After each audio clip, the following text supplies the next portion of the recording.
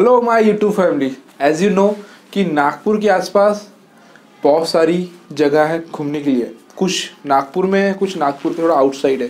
तो आज उसमें से एक हम एक्सप्लोर करने जा रहे हैं। जो आप जो हम आज एक्सप्लोर करने जा रहे हैं, उसका नाम है रामगढ़ टेंपल ये बहुत ही पुराना मंदिर है। तो देखते हैं कि ये मंदिर है कैसा, क्योंकि मैं यहाँ पर बहुत बार जा चुका हूँ बट आज यहाँ बहुत दिन बाद जा रहा हूँ। तो मैंने सोचा कि यार सही में ये प्लेस को एक्सप्लोर करना ज़रूरी क्योंकि वहाँ जाने के बाद जो जो आत्मिक शांति मिलती है और जो वहाँ के जो नेचुरल सीन्स है, वो काफ़ी औसम है। तो जाते हैं और वो प्लेस को एक्सप्लोर करते हैं। तो जब तक बने रहे हमारे साथ, नागपुर एंड विक्की के साथ। यह मंदिर नागपुर से लगभग चौपन यानी फिफ्टी फोर किलोमीटर दूर है, जो कि रामटेक में स्थित है। इस मंदिर का निर्माण भोसले साम्राज्य में हुआ था।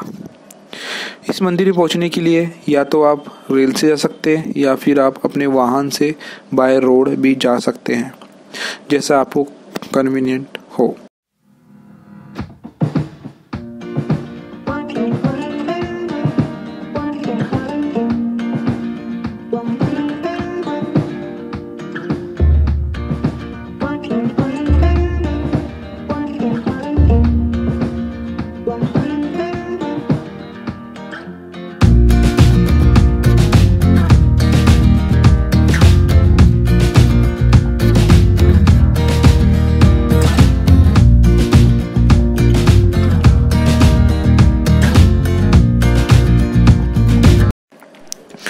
यह मंदिर पहाड़ी पे स्थित है।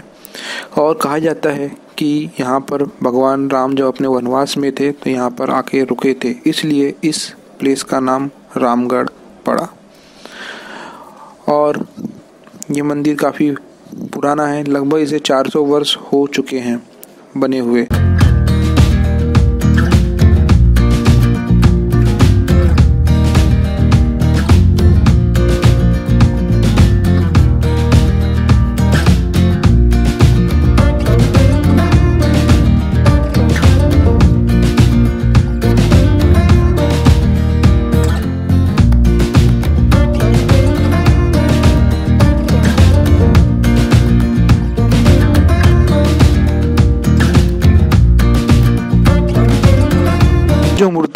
आप देख रहे हैं।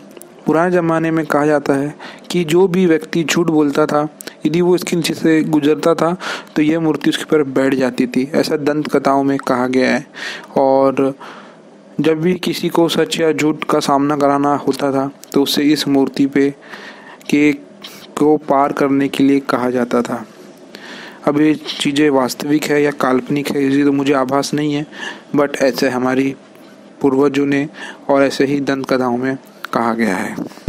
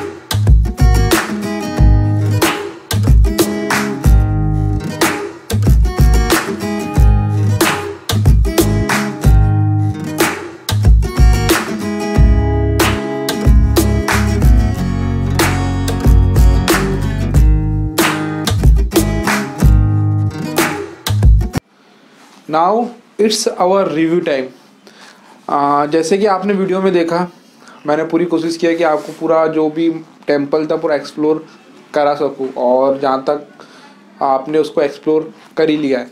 अब जहाँ तक जो मैंने मैंने वहाँ जाके महसूस किया, मुझे काफ़ी अच्छा लगा। और वो एक बहुत अच्छा फैमिली स्पॉट है घूमने के लिए और दर्शन करने के लिए, क्योंकि काफ़ी पुराना राम मंदिर है और वही मंदिर के कारण राम रामटेक का नाम रामटेक पड़ा। तो आशा है कि आपको ये वीडियो अच्छा लगा होगा। आगे आपको ऐसे ही वीडियो मिलते रहेंगे। जब तक के लिए जय हिंद, वंदे मातरम।